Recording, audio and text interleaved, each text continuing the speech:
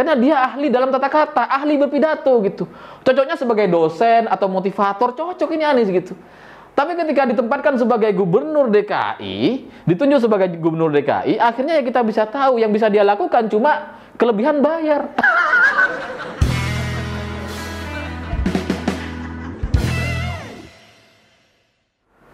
Selamat malam para mantan, selamat malam untuk semua mantan-mantan kalian yang nggak punya banyak temen. Yang kalau datang ke nikahan, kondangan, atau acara apa pun itu, dia suka kebingungan. Telingak, kelingu, kanan, kiri, mana nih yang bisa diajak ngobrol.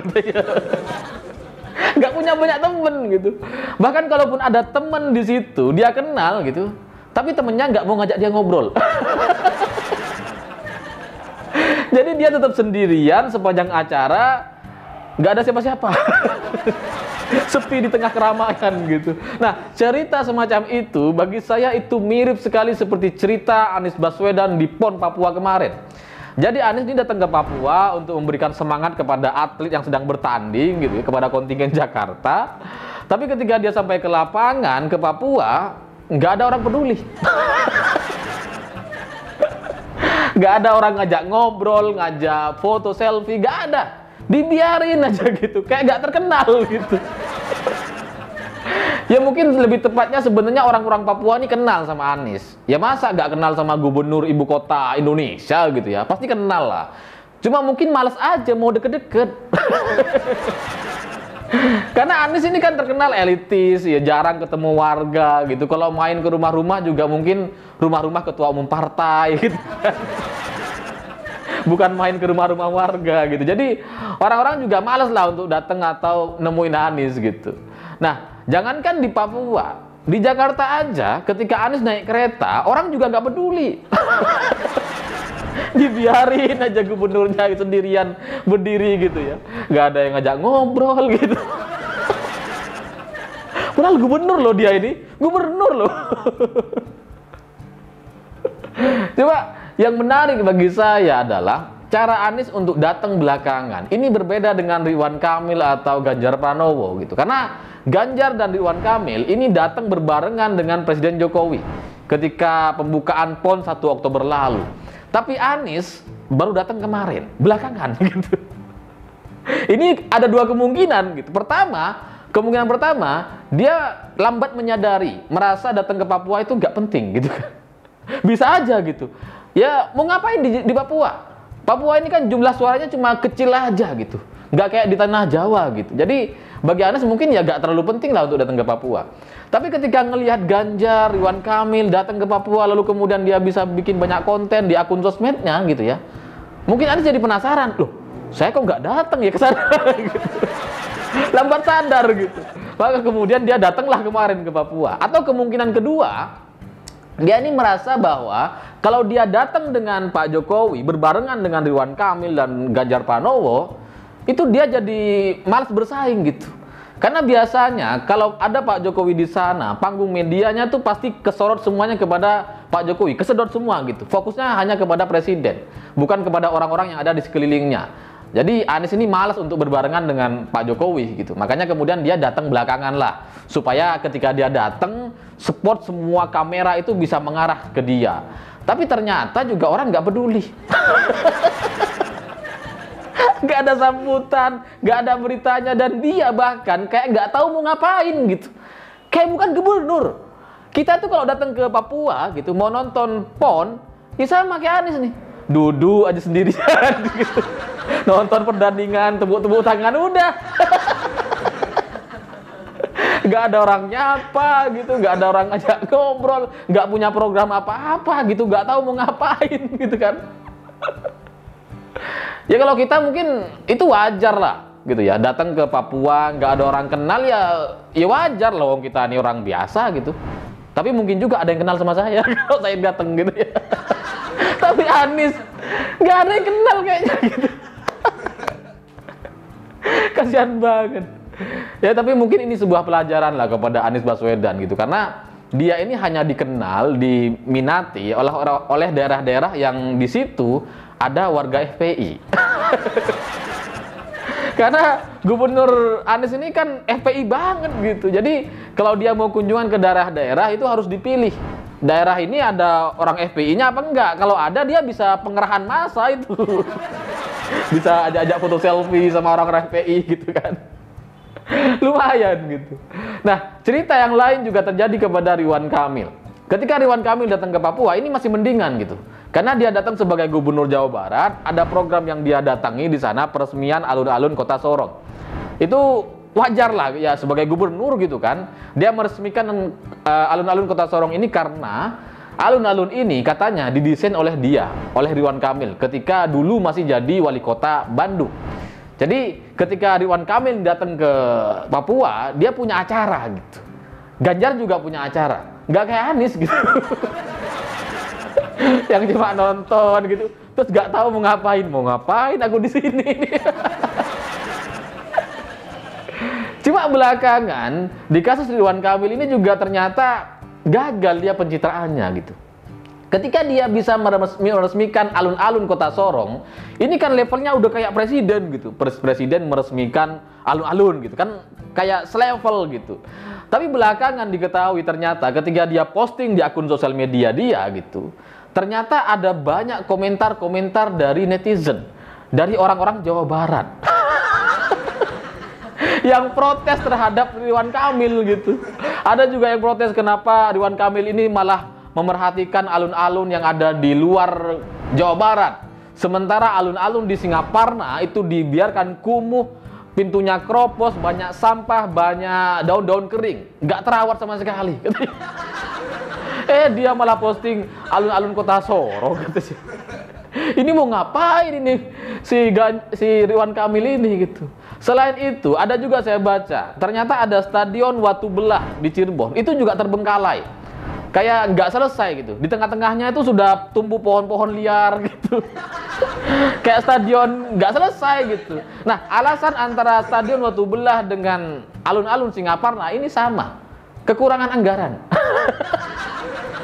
nggak punya anggaran katanya. Jadi Ridwan Kamil ini ibaratnya apa ya? Kayak tukang lah gitu ya. Tukang itu kan bisa benerin rumah orang bagus gitu, dipercantik, baik sekali bangunannya gitu. Tapi rumahnya sendiri dibiarkan nggak terawat. Tapi kalau tukang kan ada sisi logisnya gitu ya. Mungkin rumah dia biasa aja atau nggak direnovasi ya mungkin karena dia nggak punya uang gitu. Sementara kalau dia bangun rumah orang, dia kan dibayar gitu kan, emang kerjaan dia. Nah, tapi Ridwan Kamil ini kan berbeda, dia gubernur, anggarannya ada, dia sebagai pemimpin gitu ya. Masa iya dia cuma merhatiin alun-alun kota lain lalu di kota dia sendiri nggak diperhatikan? Itu kan ibarat kita lebih peduli sama mantan, tapi nggak perhatian sama pacar.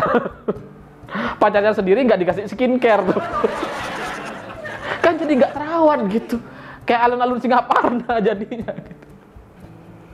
Lalu setelah saya perhatikan lagi, saya cari tahu soal alun-alun kota Sorong ini, ternyata alun-alun ini itu udah selesai bulan April lalu dan itu diakui oleh Ridwan Kamil di postingannya.